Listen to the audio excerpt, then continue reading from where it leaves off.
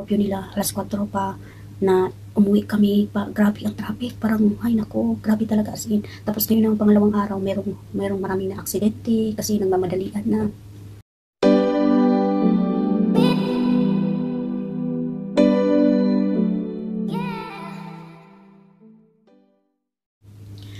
So, hello everyone! Welcome back sa aking channel. For today's video, meron tayong gagamiting, um, ito naman ay ginagamit ko na dati pa, pero ngayon is, gagawin ko po itong face mask. Nakikita ko lang po ito sa ibang YouTuber at susubukan natin kung maganda ba talaga sa kanilang face. So, just keep on watch. So, ang ginawa nila is, lalagay na nila. So, kailangan talagang linisan yung face ninyo bago kayo maglagay nitong Nivea cream sa inyong mukha. So, we will see what happened.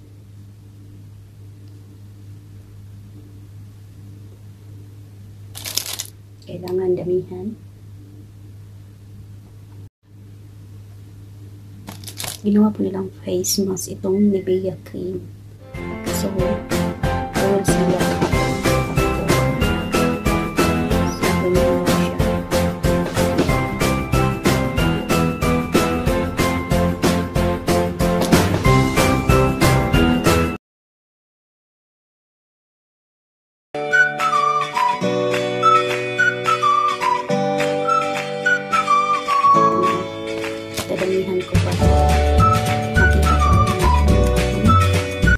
hinahanap na kagandahan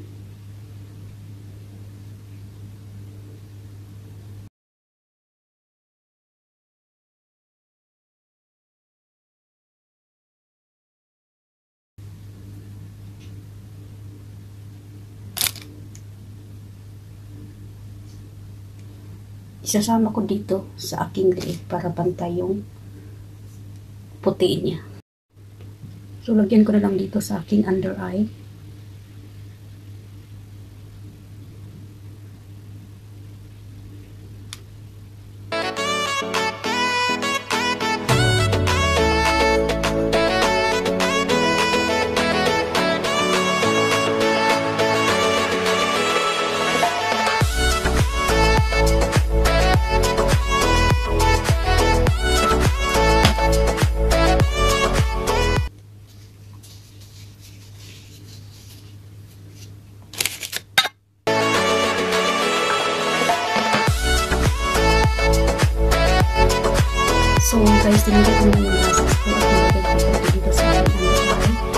Pagkatapos ibaba natin ng 5 minutes.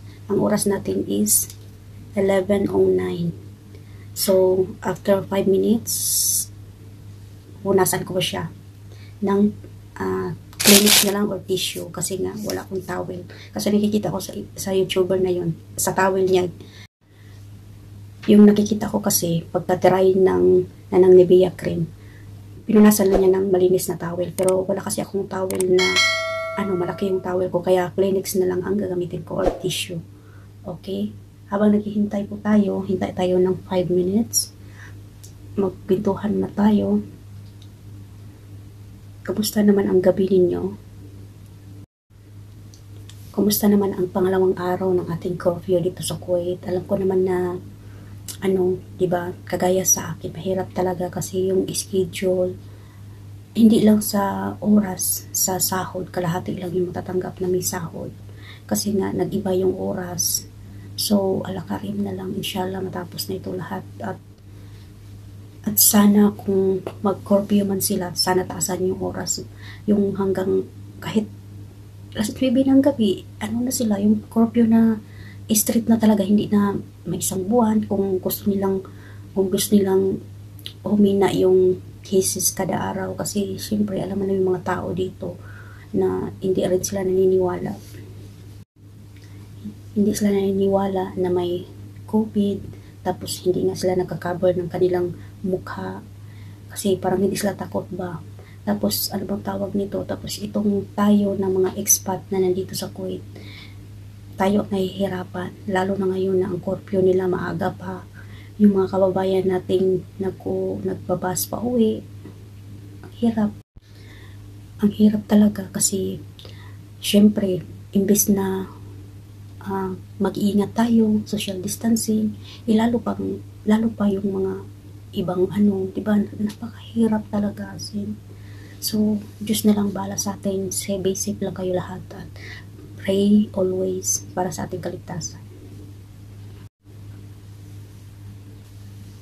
Tapos, nung kanina, ar hapon, first, uh, first day ng curfew nila, alas 4 pa, na umuwi kami pa, grabe ang traffic, parang, ay nako, grabe talaga as in. Tapos ngayon ang pangalawang araw, merong, merong maraming na aksidente, kasi nang mamadalian na. So, natapos na po ang oras, 11.15. Kanila 11.09, ngayon 11.06 minutes na. So, ang gagawin ko is, tanggalin ko lang sa clinics at pagkatapos ay ilang maghugas na ako ng tubig. Sana matanggal yung mga blackheads.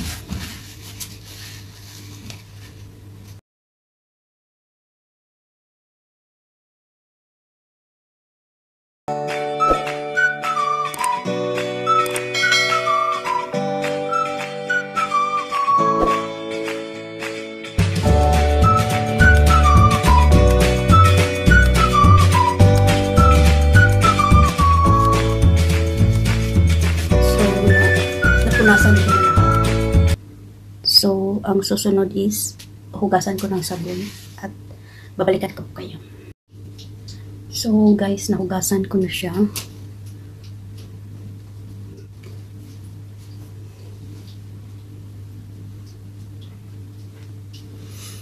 So, ang feeling ko is malambot siya.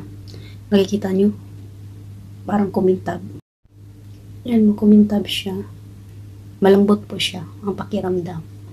So, yun lang po guys ang share ko sa inyo. Kung meron kayong nibiya sa bahay, yun na lang ang gagawin yung face mask kung nagdadry na yung face. Kasi, pag na nalagyan nyo siya, magandang pakiramdam at hawakan mo malambot, malambot po siya. So, yun lang po ang share ko sa ngayon. At salamat po sa inyong lahat. At please don't forget to subscribe my channel and click the bell button para ma-notify ka every time na may bago akong video. Kaya be safe and God bless you all. Maasalama everyone.